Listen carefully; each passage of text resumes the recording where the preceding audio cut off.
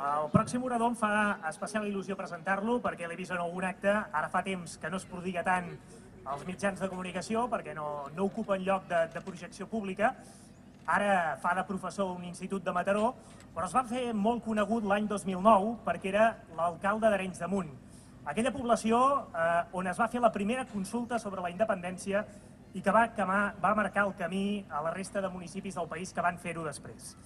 De Carles Mora en recordo les seves brillants floritures lèxiques, el seu ric i afilat discurs farcit de referències poètiques i el seu missatge sempre en positiu. Recordo que deia, eh, ja fa uns quants anys, que a Catalunya hi predominaven els polítics especialistes en pentinegats. Sembla ser que, afortunadament, en els últims temps, les coses ja no són així, o almenys ja no són tan així. Ara sabrem ara mateix què en pensa eh, Carles Mora.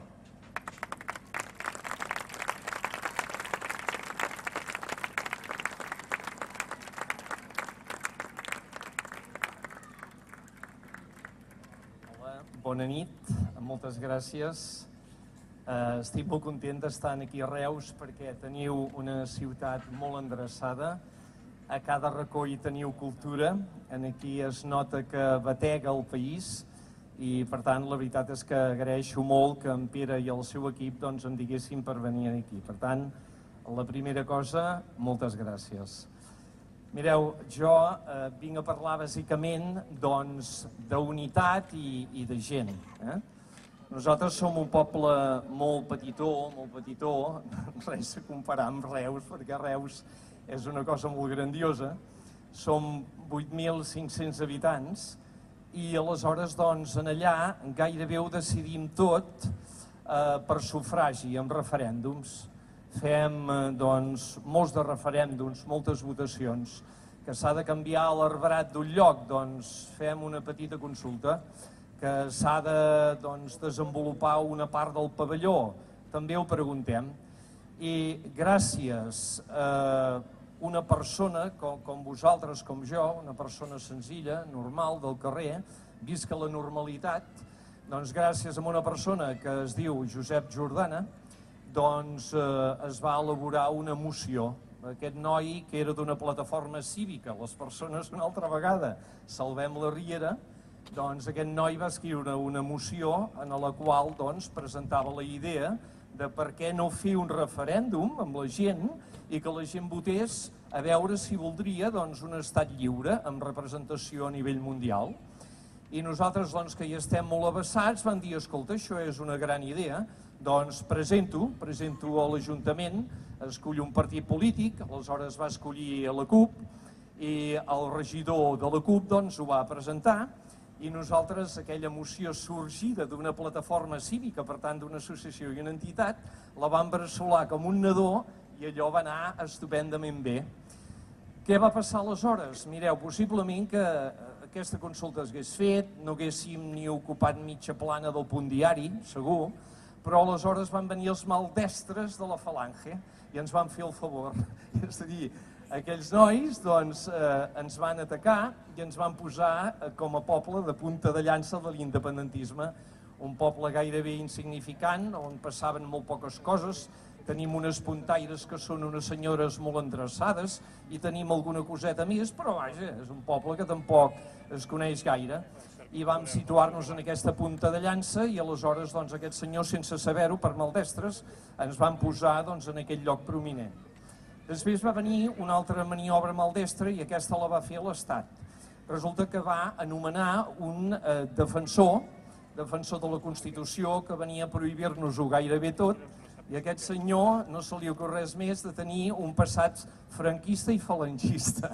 Per tant, un altre favor maldestre. Per tant, bé, tot l'independentisme ens va situar aquí, ens van estimar molt, ens van recolzar molt, ens vam sentir molt estimats i per tant vam tirar endavant, vam fer el que havíem de fer. I en allà treballava tothom, és a dir, en aquell equip doncs, tant teníem gent que fregava escales com teníem economistes, teníem professors de, tot, de tota mena, teníem doncs, gent molt jove, teníem gent ja molt gran, una àvia que estava en una reunió un dia del grup, doncs la seva filla va parir, precisament, i se'n va anar doncs, corrent per assistir en el, en el postpart ja de la seva filla. No? Vull dir que el grup era una unió, una transversalitat increïble. I el dia doncs, que vàrem celebrar la consulta, la primera consulta, va ser realment un dia meravellós, un dia que tots tenim brodats al cor, un dia que s'escriurà a la història del nostre poble doncs, amb lletres d'or. No? Per què? Doncs perquè en allà s'hi aplegaren doncs, molts de mitjans de comunicació, vingué gent de tots els països catalans, vingué gent també de, de, de, de moltes parts del món, s'acreditaren més de 150 mitjans i ens sentirem doncs, molt acompanyats per un país. El punt avui titulava Arenys de Munt, capital de Catalunya. No? Imagineu-vos, nosaltres no ens ho haguéssim pogut pensar mai. Bé, amb els falangistes no va passar res perquè eren quatre i el caporal, vull dir que per tant doncs, tot el desenvolupament, les tanquetes, l'helicòpter que volava per allà, doncs tot es va esvair en un moment i nosaltres vam poder celebrar aquesta consulta amb una cua grandiosa on hi havia gent que inclús plorava en el moment doncs, de votar perquè volia doncs, la independència del nostre país que estimava més que inclús a ell mateix. No? Eh, va haver-hi un encert perquè es va decidir a través d'aquest grup que poguessin votar també els emigrants que són persones com nosaltres i per tant van poder votar. Va poder també votar els joves a partir de 16 anys perquè l'espectre del jovent és molt important i tenien moltes ganes de fer-ho també, això també va ser un encert i per tant allà ens vàrem aplegar tots. Us preguntareu per què us dic això? Perquè a veure, hem de tenir molt present que sense unitat no hi haurà independència. Ens hem de mantenir units, el sufler, això que diuen metafòricament el sufler, a vegades baixa i ens cansem una mica tots plegats perquè veiem reaccions que no ens van bé. No ens van bé com a poble, no ens van bé com a país, no ens van bé com a col·lectivitat i són reaccions eh, de vetllar potser molt pel partit, de vetllar molt per la cadira, de brallar-me en aquell com si fóssim adolescents, de brallar-me amb l'altre, aquell sembla que diu això. Bé, aquí hi ha una prioritat, i la prioritat es diu Catalunya. És a dir, que hem d'anar units. No hi pot haver-hi ara, en aquests moments, separacions. No hi pot haver-hi discussions. No ens podem abrellar, perquè si ens abrellem no ho aconseguirem. Penseu que estem lluitant-hi, bregant-hi, que hi ha molta gent, aquesta mateixa gent que ha preparat això, aquesta gent ha estat molta estona i ha posat tot el cor i ha posat hores i això és difícil, no és pas fàcil muntar una cosa així.